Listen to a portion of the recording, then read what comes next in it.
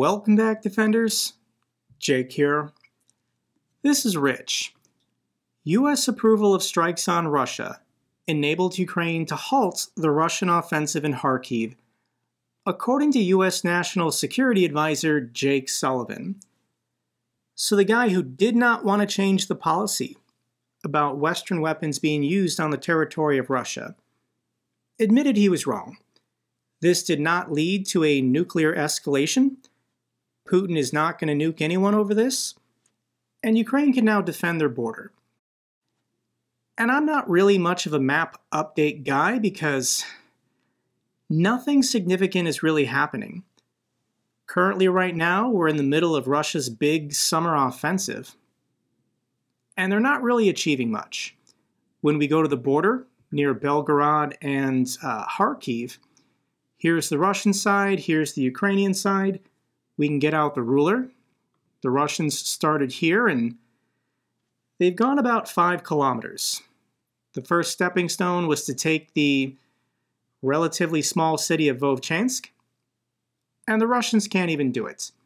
They probably spent six months preparing for this invasion, 30 or 40,000 Russian troops streaming across the border. And Putin says the objective is to create a buffer zone. I'm guessing they would want at least 30 kilometers deep. And this has been an absolute disaster for the Russians. And with this policy reversal, it's just going to get worse every single day for the Russians along the border. Russian command node hits in Ukraine's first warplane strike inside of Russia. So, yes, the Ukrainian Air Force is still flying combat missions.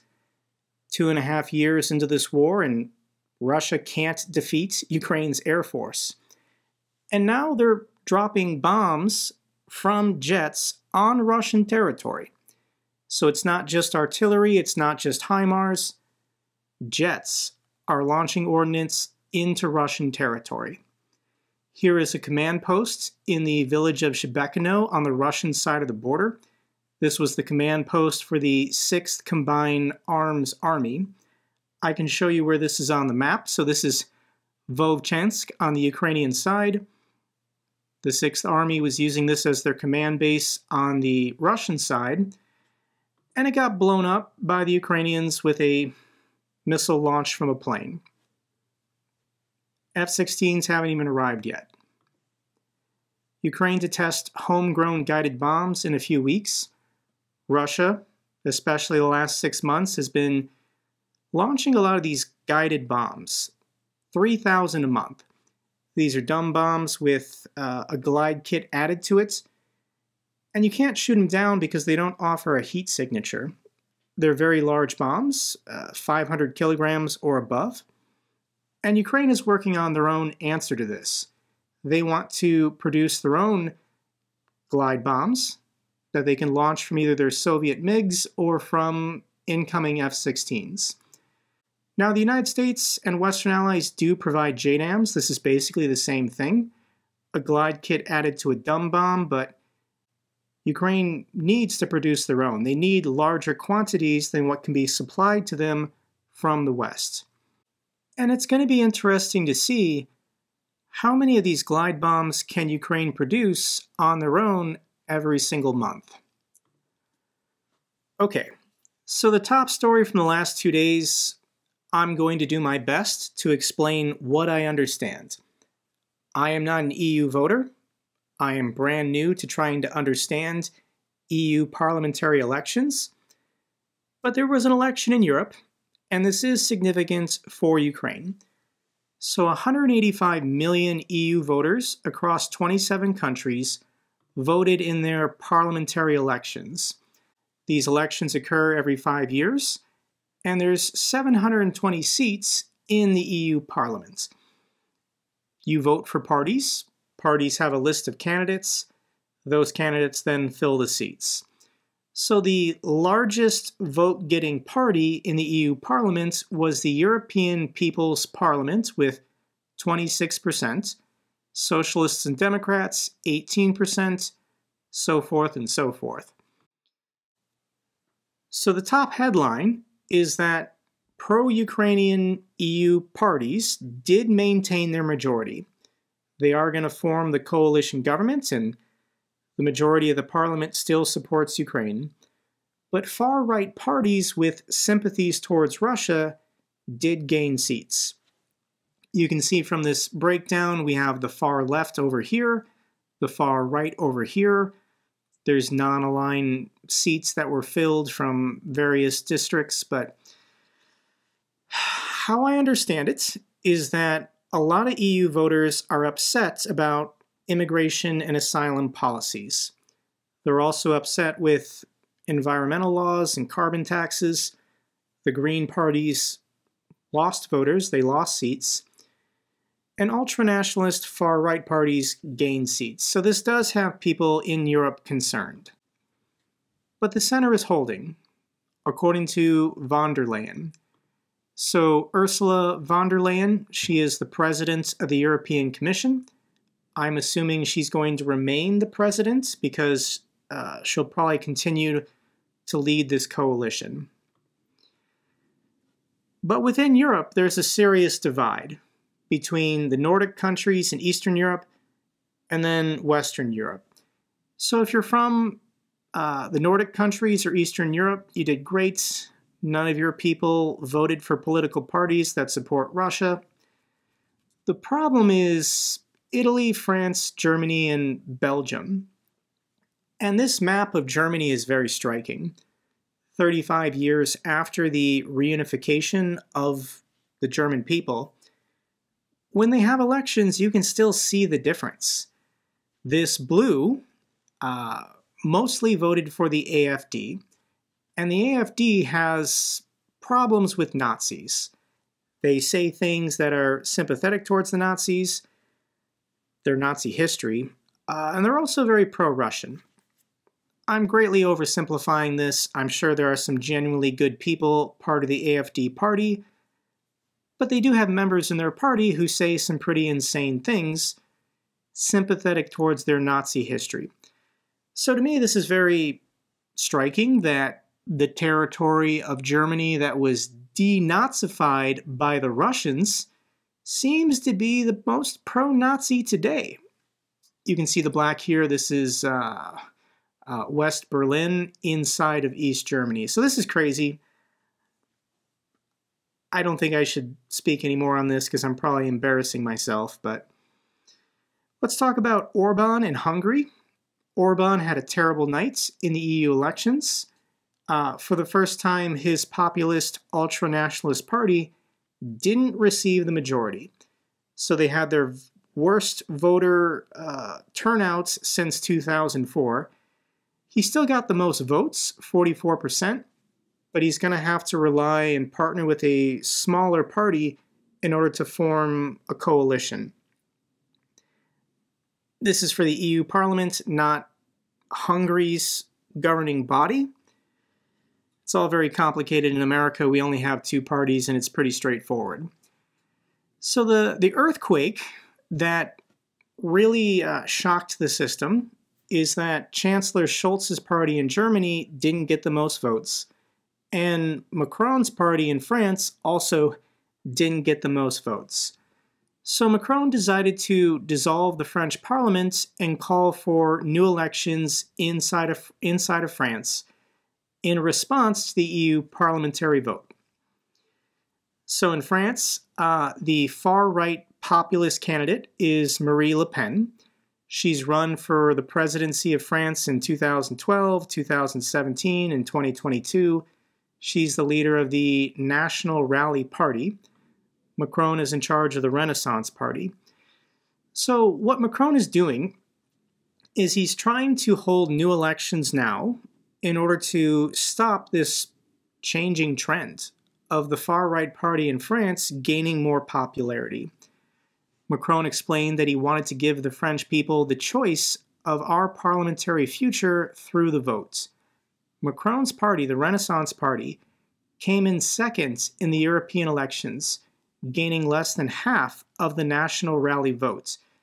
So Macron's party got 15%, while the far right Marie Le Pen party got 31%, twice as much.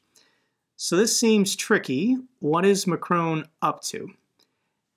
And the reason why he's holding these elections now, unlike the single list proportional representation system used to elect members of the European Parliament, the French Parliament is elected via a two round system of single member constituencies. In the French system, a candidate must get over 50% to win, with the French president placing a bet that far right candidates won't be able to get that. So you can do the math. Uh, 15 and 31 isn't even 50%. So Macron is trying to trigger a new round of parliamentary elections in France to beat the far right because he doesn't think the far right can get over 50%. So if Macron can just finish in the top two, it's going to be Marie Le Pen and Macron. There has to be a second round of votes to get over 50%. And Macron is assuming that everyone to the left and in the center will just consolidate around him to stop Marie Le Pen and the far right from getting the presidency and a majority in, in their parliament. That's how I understand it as an outsider, as an American. I don't know if I got it right. All I know is that I want President Macron to stay in power. Marie Le Pen has uh, expressed pro Russian sympathetic views in the past, and Ukraine really needs uh, France's support at this time. So let's get back to the war zone. Ukraine blows up one S 400 division and two S 300s in Crimea. This was a huge and successful operation. Here are the before pictures. We don't have the satellite after pictures yet, but when Russia sets up their air defense systems, they're pretty noticeable. And this was about 12 ATACMS striking three different parts of Crimea. In Dzhankoi, two radar stations were destroyed, and then the air defense systems are located over here, so they have time to uh, shield and protect the port city of Sevastopol. This is the first satellite image we've got of the destruction of the radar stations in Dzhankoi. We're going to get more satellite images soon, but yeah, this is a couple billion dollars worth of air defense systems that Russia just lost. Here's an interesting Telegram post Russian air defense soldiers have been ordered to evacuate their families from Crimea and relocate them to the southern military district in Rostov-on-Don. So perhaps the Russians know something we don't. How many times has Ukraine blown up an air defense system located in this area? And it's every couple months, so eventually Russia's going to run out of air defense systems. For an update from a ordinary Russian soldier, I've got a clip from Anton. It's currently summertime. These guys look like they're enjoying a nice cool breeze somewhere in the occupied territories. But this is what these Russian soldiers have to say about the coming winter. The person holding the camera is asking this Russian soldier questions. So are you ready to stay here for three years? That's my answer and he uh, holds up his middle finger. So you don't like the news that we can stay here? Of course I don't like that. I don't want to be here in the winter. There's no provision, no food, no clothes. Look at this stuff. We wear what we find in the houses. You don't believe me? Look at this guy. The exact same thing. The Russian military doesn't issue proper uniforms to their soldiers. So Russian soldiers for the last two and a half years have been robbing Ukrainian homes in the occupied territories. They take socks, underwear, clothes, food, electronics, anything they can find. And yeah, that's a pretty goofy sweater on this Russian soldier. Comrade Zora signed a contract. How long do you have left to serve, Zora? Two more years. No, I mean urgent service nine months, three months of service, and signed a contract, and went to Ukraine FSB comrade. Woof, meow, there's another demon sitting there, see his head. He zooms in on this guy in a trench. That's a effing elephant, and that's Casper. he has armed forces of Ukraine on his boots. He's then going to show this Russian soldier's boots right there. See the AFU logo on the side of this Russian soldier's boot. And that's our blogger. Tell us what to do. Like, click the bell, follow us for more news. They rob Ukrainian soldiers of their boots, so the Russians have something decent to wear. Ukraine destroyed a Buk air defense system in Donetsk with FPV drones. Uh, this is the Buk air defense system. I'll link the video down below if you want to see it for yourself. Concerning that Su-57 fifth generation stealth bomber, uh, looks like Ukraine might have damaged two of the planes. So this is the best resolution satellite image we've received. You can see on the apron a drone hit here and here, damaging this plane. But reports are on Russian telegram channels that perhaps this one or this one also received a piece of shrapnel, and it's been partly damaged. Su-34 fighter bomber worth 36 million crashes in Russia. This occurred in uh, North Ossetia. The crew died, and Ukraine had nothing to do with this. This was a scheduled training flight, and it crashed due to a technical malfunction, so. The Russian ship Admiral Levchenko is on fire in the Barents Sea. The Barents Sea is up here in the Arctic Ocean, and once again, Ukraine had nothing to do with this, but Russian ships seem to be incredibly flammable. It's either sabotage or incompetence, but Russia's Navy has problems. Ukraine confirms attack on Novoshakhtinsk oil refinery, claims damages totaling $540 million.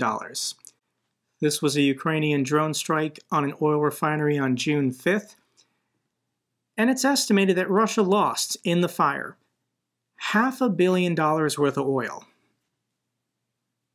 Their profit on this oil wasn't going to be half a billion, but if half a billion dollars worth of oil just vanishes, this is a huge loss for Russia's oil industry.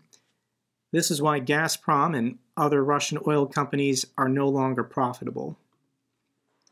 Massive fire at a Russian ammo depot in Belgorod Oblast after a Ukrainian attack. All of Russia's command posts, ammunition depots, fuel warehouses, within 90 kilometers of the border, they're all going to go pretty soon. U.S. confirms Ukraine used a Patriot to down Russia's valuable A-50 early warning radar plane back in January.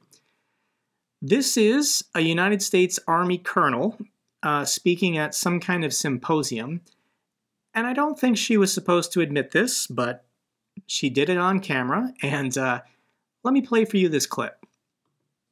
You know, you, you know what you gave them whether it's a battalion of IRIS-T, a battalion of Patriot, um, and the capabilities that those provide, take a look at how they're using them. Uh, they have probably about a Patriot of battalion operating in Ukraine right now. Some of it's being used to protect static sites and critical national infrastructure. Others are being moved around and doing some really, uh, really historic things that I've I've I haven't seen in 22 years of uh, of being an air defender, and one of them is is a SAMBUSH. what's become to come to be known as the surface air ambush, surface air missile ambush. Um, and they're doing that with extremely mobile Patriot systems that were donated by the Germans because the systems are all mounted on the trucks. So they're moving around and they're they're using these types of systems, bringing them close to the FLOT to gain and, and stretching the very very edges of the kinematic capabilities of that system to engage the first A50 C2 system uh, back in January. We have a new term, SAMBUSH, Surface to Air Missile Ambush. And back in January, the Russians were flying their AWAC plane over the Sea of Azov near Berdyansk, and the United States admitted it. Uh, the Ukrainians took a Patriot launcher probably pretty close to the front line, and they successfully shot down this $350 million plane and the entire crew on board was lost. A month later, they were flying the plane over Rostov-on-Don, Russian territory, and we don't know exactly how Ukraine shot down that plane as well. The Russians think it's better to declare incompetence and they shot down their own plane, but I think Ukraine probably used some kind of converted missile in order to shoot down that second A 50 in February. But here's the truck. Uh, Ukraine probably shouldn't have released this, but this is the Patriot truck showing all of their kills. Uh, every time they shoot something down, they paint it on the side of the truck. And there it is. That's the A-50 AWAC plane painted on the side of the Patriot launcher, confirming Ukraine shot it down. Wow. Air Force official Ukraine to protect its F 16 fighter fleet by basing planes in other countries. This is driving the Russians insane. But I think what's happening here is uh, the F 16s arriving in Ukraine. When they're flying combat missions, they're probably going to take off and land somewhere in Ukraine. But if a jet isn't going to be used for a couple days or a week or two because of maintenance or training or something, Ukraine is going to relocate those F 16s somewhere else. Poland, Germany, Denmark, I don't know. I don't think anyone's going to, I'm not going to talk about it. But Ukraine is going to shuffle active warplanes between the war zone and then safe territory somewhere in NATO.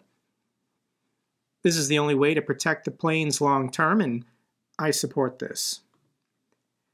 Let's get to the good news for Ukraine.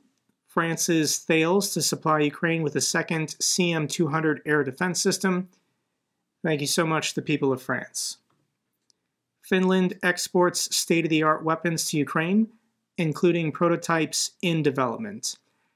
So, unlike many other Western supporters of Ukraine, Finland does not reveal specific details of its military aid to Ukraine. They don't want to tell the Russians. So thank you so much to the incredible people of Finland. I know you guys are helping. Scholz says Germany will transfer a third Patriot system, additional IRIS-Ts and Gepards to Ukraine. Thank you so much to the German people. And uh, I think one of these Patriot trucks is going to go hunting with Sam bushes. Sam, Sam bushes. That's a weird word. Final clip I have for you is from a book fair in Ukraine. Portrait of a book fair in wartime. And this is the Book Arsenal Festival, and this clip is from Yaroslava. These books on display are from the printing house in Kharkiv that Russia tried to destroy.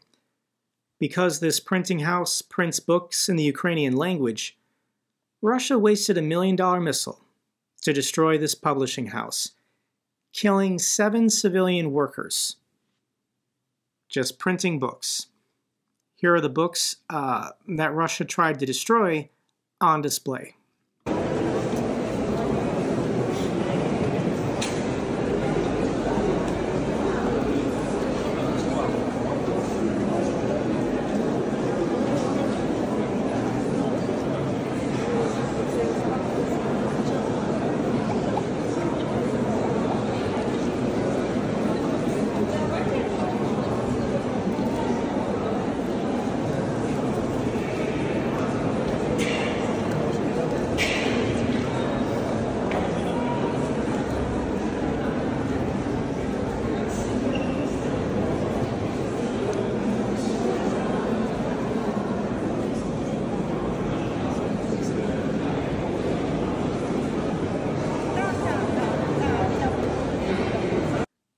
A hundred years from now, when Ukrainian children go on school field trips to learn about their history, about how their soldiers fought for their independence and freedom from Russia for good, these school children are going to see this display.